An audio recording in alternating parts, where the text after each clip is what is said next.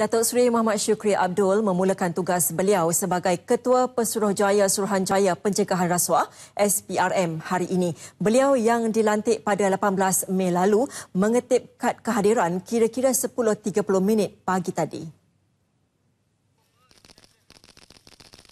Ketika ditemui media, beliau yang dilihat gembira memaklumkan akan mengadakan satu sidang media khas esok di Ibu Pejabat SPRM Putrajaya.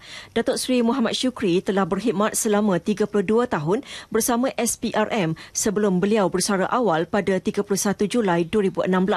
Jawatan terakhir yang dipegang beliau adalah Timbalan Ketua Pesuruhjaya Operasi SPRM.